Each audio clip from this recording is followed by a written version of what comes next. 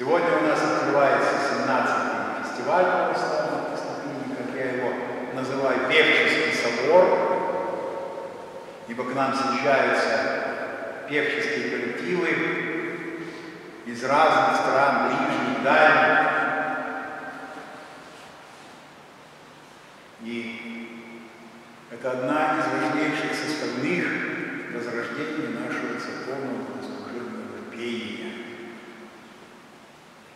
Скрупулезное, вдумчивое, с молитвой, которая совершается. То есть нужно жизнь посвятить этому.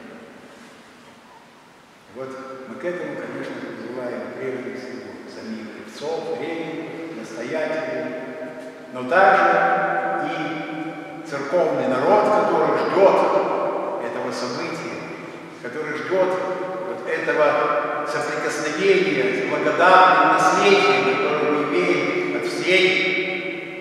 православной церкви за две тысячи лет.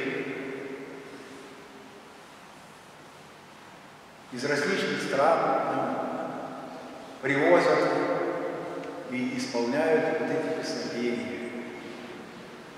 И одноголосные, которые древнейшие уже более времени. Но все они, что их объединяет, то, что они приняты церковью, что они являются основой богослужения православного. Вот будем с бережностью относиться к этой возможности, возможности соприкасаться с этой красотой незачемной.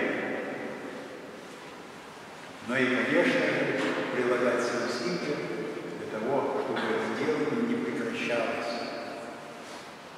Прежде всего, конечно, молитвы.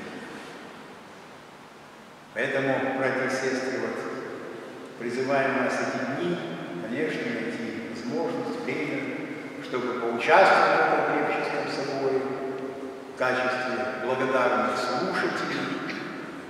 Это свидетельство о православии нашем городе, проповедь